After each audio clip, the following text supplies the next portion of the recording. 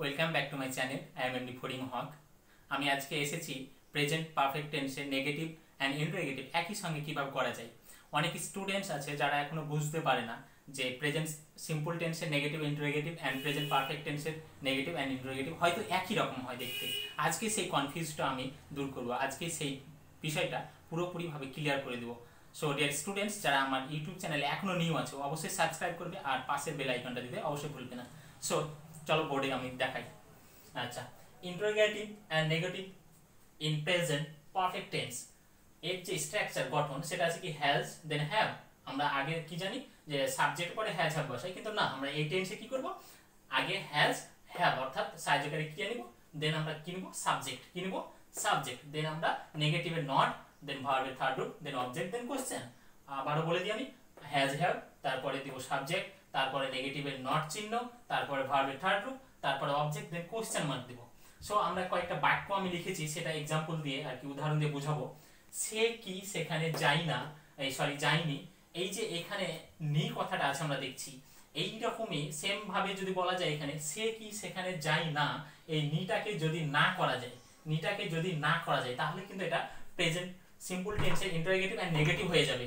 So আমরা এখানে শুধুমাত্র নি থাকবে তবে আমরা জানব প্রেজেন্ট পারফেক্ট টেন্সের interrogative and negative okay dear students so এখানে নি আছে, তাই এটা কি হবে? প্রেজেন্ট পারফেক্ট টেন্সে ইন্টারোগেটিভ অ্যান্ড নেগেটিভ আচ্ছা।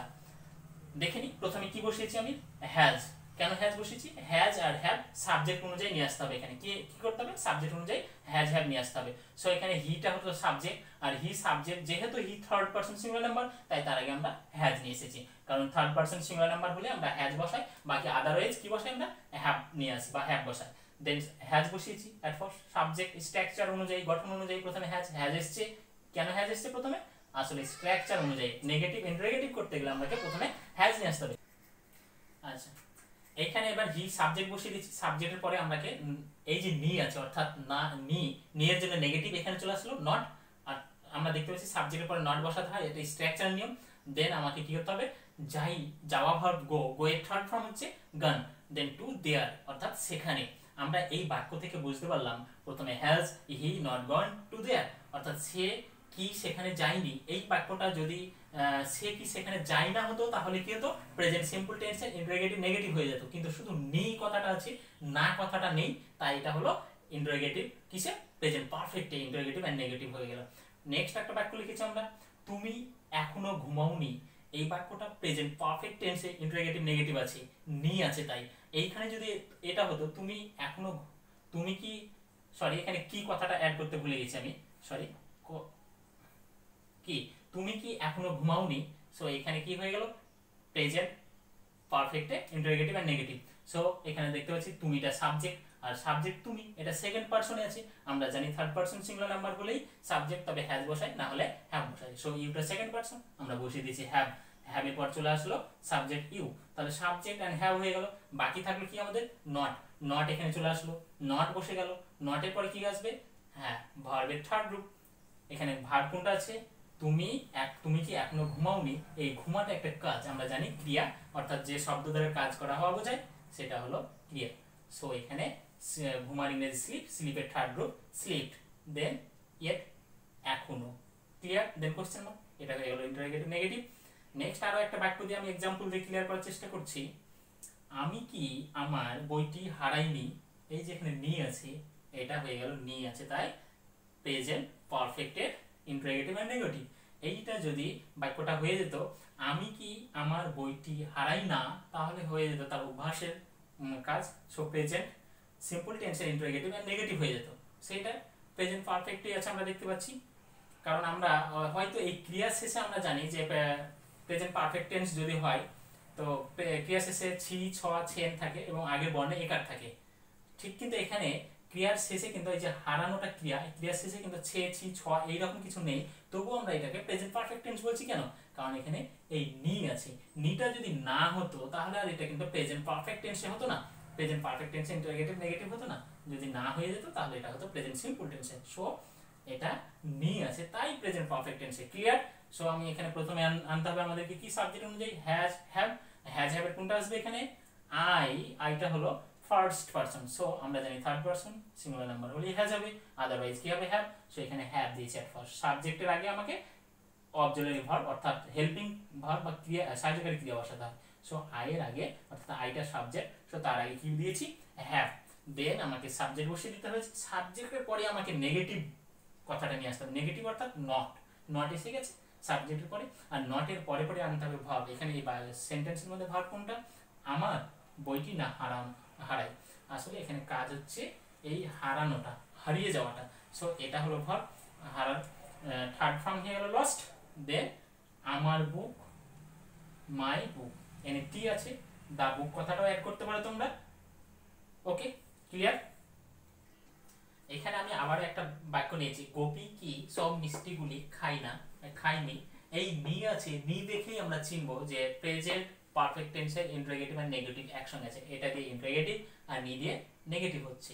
আর যদি এইটা না হয়, তাহলে জানতে হবে এটা প্রেজেন্ট সিম্পল টেন্সে ইন্টারোগেটিভ আর নেগেটিভ আসলে গোপীর মিষ্টিগুলি খাওয়া কাজটা আগে হয়ে যাওয়ার কথা ছিল, কিন্তু হয়তো খায়নি, তাই প্রশ্নটা করছে। জাস্ট ফিনিশ করেনি কাজটা। আমরা জানি প্রেজেন্ট পারফেক্ট টেন্স যে এইমাত্র কাজ শেষ হয়েছে, কিন্তু এখনও বর্তমানে তার রেস রয়েছে এই ধরনের কাজগুলো হয়। সো আমরা এটাকে এই ফরম্যাট অনুযায়ী লিখে দেখব।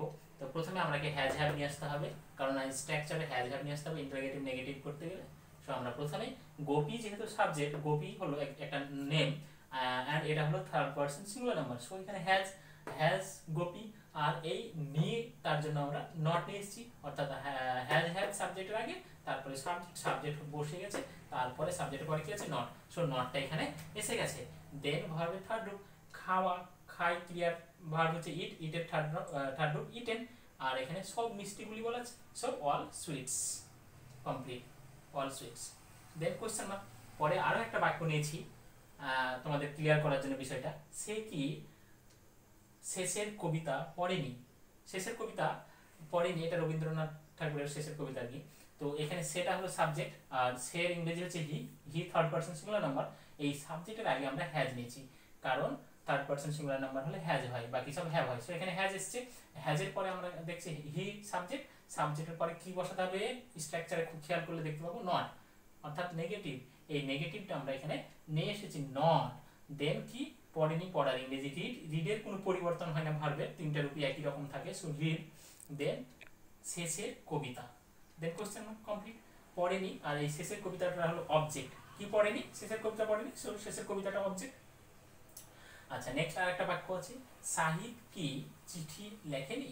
এখানে নি আছে অর্থাৎ এটা প্রেজেন্ট পারফেক্ট টেন্সের ইন্টারোগেটিভ এন্ড নেগেটিভ আর না থাকলে সেটা আর অন্য টেন্স হয়ে যেত আর কি। সো নি দিয়ে আমরা এটাকে আইডেন্টিফাই করতে সহজ করব।